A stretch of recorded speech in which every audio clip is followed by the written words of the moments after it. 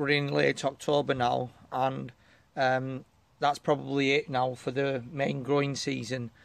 You can see some um, runner bean flowers still on their beans, but it's too cold for them to amount to anything much. But there are some runner beans that still need harvesting. So it's just a case of what we can salvage from the plants at this stage.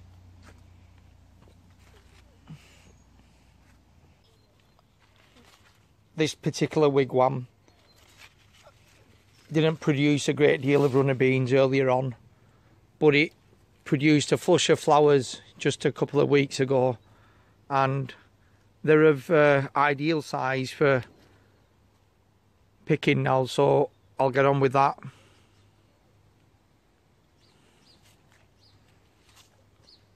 As I say, anything that we can get a hold of now is just a bonus. So I'm going to take what nature offers at this time of the year.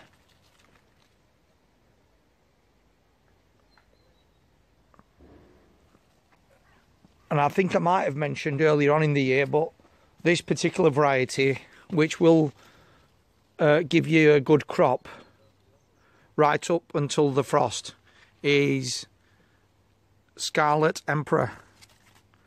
Scarlet Emperor is my go-to runner bean. I always recommend it to anyone who asks what type of runner bean I grow. Scarlet Emperor. And as we approach the tail end of autumn, I need to get the polytunnel ready now for what I want to plant in here in spring. Uh, this area has been turned over in the last week and I'm going to give it another dig over and a job that needs to be done in the present now is um, to clear up this area of tomato plants. You can clearly see there are some green tomatoes left, but with the temperatures now moving nearer towards four five degrees Celsius at night, um, it's not worth risking frost hitting these plants so I'm going to clear it. But it's amazing how much you'll find that when you do clear your plants you actually get quite a substantial harvest. Obviously these will need either um, trying to be ripened or uh, probably just use them as green tomatoes. So I'll get a hold of what I can from these plants. Now I've just cleared those tomato plants and you can see that um,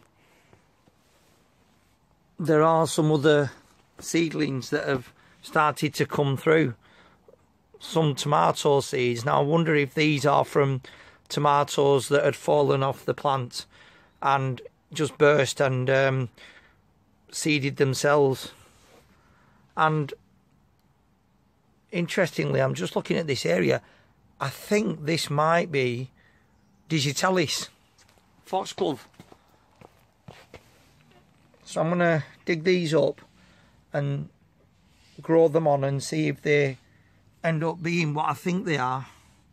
There's quite a few plantlets of what I think is foxglove. So that's a bonus.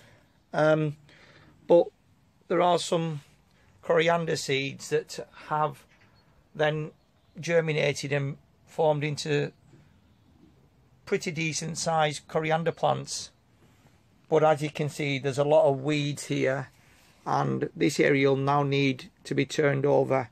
So we'll crack on with that.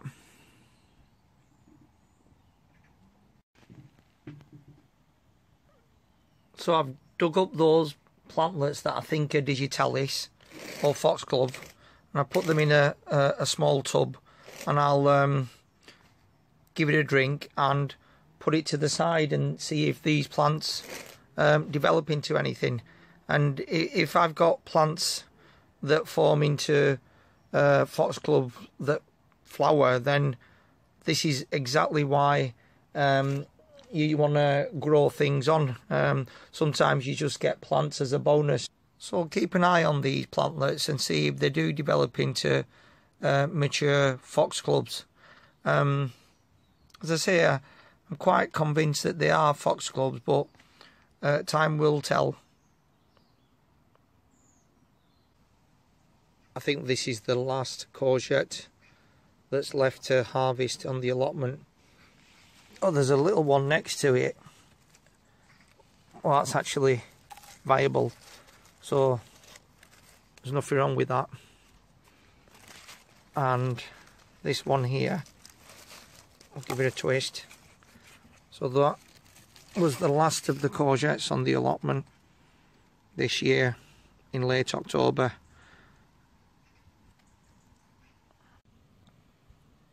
So when I said that it's often surprising how much you get from when you're just clearing um, plants that are past their best, this is what I meant. There's quite a lot of uh, green tomatoes. They're obviously not anywhere near ripe, but we can uh, add these to dishes with ripe red tomatoes and um, use them in a, a dish called tenga, which is a tomato based dish in Bengali. So um, that's not too bad. And I got there before the frost did, so that's always a bonus. And in doing so, managed to find two courgettes that were hanging on and needed harvesting. So pretty pleased with that so late in the year. And I nearly forgot. I said I was going to um, harvest the last of the Scarlet Emperor runner beans. So that's not a bad bunch at all. Anything at this time of the year is a bonus. And we'll just add that to the harvest bag. So we've got some uh, very late season green tomatoes um, a couple of courgettes and late in the season runner beans. As I said, anything at this time of the year um, is a bonus, and the thing to do is um, if you're in any doubt as to whether or not frost might uh, hit your crops, then I would say don't take the chance. I've lost quite a lot of um, produce over the years where I've um, not been so um, keen to harvest, thinking that uh, the weather will stay mild for a bit longer. So as soon as we get into October, start harvesting whatever's there. I hope you've enjoyed what you've seen, and um, more importantly, I hope you've been inspired by it and maybe think about growing some of your own next year.